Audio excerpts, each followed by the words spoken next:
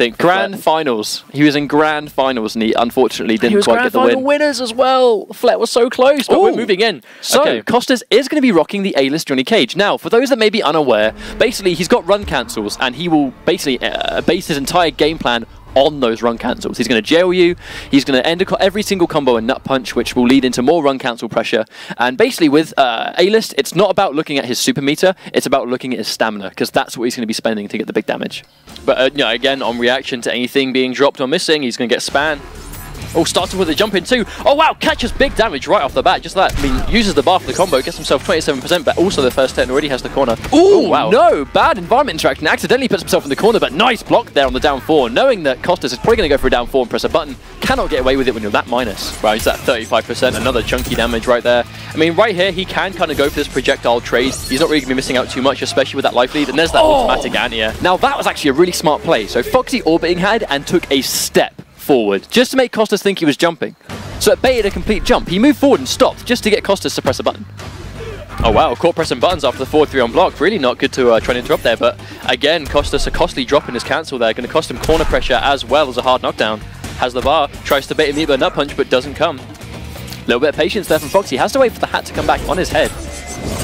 Good trade. Oh, not necessarily a good trade right there. Costas has got a full meter. Unfortunately, wastes a bar and it whiffs entirely, but that's going to be big damage. Gets another cancel, nice stuff there. 29% into restand, good stuff. Oh, wow. I don't think I've ever seen that before. Okay, so he ran in, used the environment interaction. Foxy playing really slow right now, backs the forward two on hit, gets him, oh no, caught pressing buttons, uses the meter burn orbiting hat just to get some complete damage. Oh no, drops the hard knockdown, that is going to be a bit of a shame, but Costas no bar right now. Actually no, builds a bar there, Oh, it's actually just, just, right there. That's not going to quite do it. And it will on the final piece of health. Now, in that situation, I was a bit worried because he dropped the 2-1. Oh, turn from this, turns his back to the camera. turn from this. yeah, just for those that do know, there are hidden brutalities in the game, and uh, oh, some I, I characters don't count that. some characters can turn around. And Foxy, he's already, he's already established this new thing where whenever he plays Kung Lao, you know, Kung Lao does the brutality and goes, "Learn from this." You may have heard us say it once or twice. Foxy will, Foxy will do the brutality and then just go, "Turn from this," and we're just like, "Foxy, I hate you so much." But I don't count turning your back to the camera as a secret brutality. You got Erron Still Black, counts. Erron Black shooting crows. You've got Reptile, you know, doing his thing with the force ball, and the head blows up in the acid. And then you've got I'm a I'm a I'm a turn my back. It's it's Kung Lao. It's cool. It's a cool man It's move. it's no, it's it, it is cool. But we can see Costas going to Raiden. Doesn't K-Top play this character? He does indeed. So okay, so um, I guess we'll have to see what happens. So he's gone to Raiden. It's, again, it's a character that Foxy's going to be ready for, though. I mean, Thunder God Raiden is Nivek's bread and butter, and Foxy has played endless sets with Nivek in the past. And obviously, Raiden was adjusted, so he's not as safe anymore. So we're going to have to wait and see how this pans out. So Well, that, that, first that- hit's going to be very important. This definitely is a recurring thing in the league, though, especially with the K-Top and Costas, two brothers. They seem to just play each other's characters in tournaments, and I'm not quite sure why. I, well, I guess they can teach each other, each other's characters, if needs be. So obviously, you know, the fact that obviously we know that Costas mainly plays at Erron Black, Sub-Zero, uh, and it's uh, K-Top that's known for playing Raiden and also Predator, I believe. Uh, But Foxy with the crazy patience already, getting rid of that two bars. That's some serious safety gone from Raiden, just like that. Gets a hit again, breaks, but eats the same combo anyway for 28% damage. Hard knockdown. Wow, just a patient Oh, game from Foxy. There's a really chunky delay there from Foxy. I mean, what Foxy will do in that situation is he likes to delay because if he delays his pressure, the only reason you're not pressing a button really is because he's going to go for a grab. That's what your brain is telling you. If he delays it and you think he's going to grab, you start pressing buttons to take the grab. Foxy throws in a standing one and that's it. You know, he's going to trade and, and win that.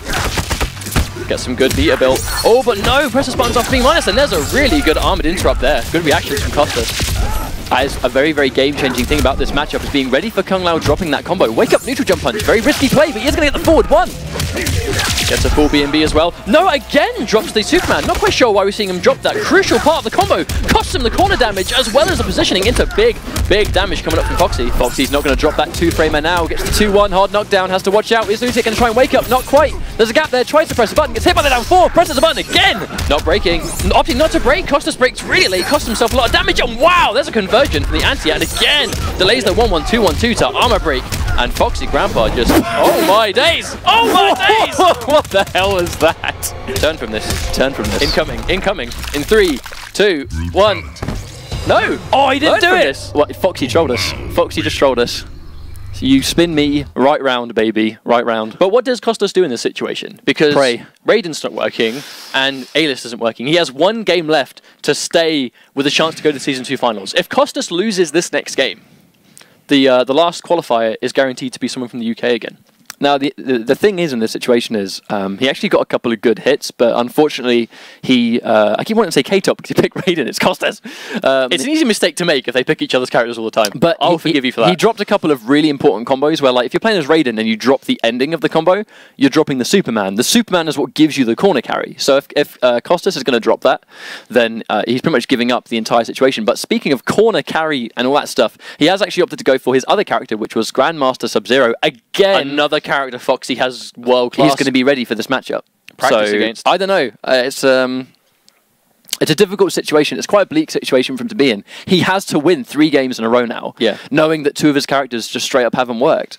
So I don't know. I mean, he can still win. He Well, definitely if, can if win. he's going to make this set comeback, it's going to be with Sub Zero or nothing.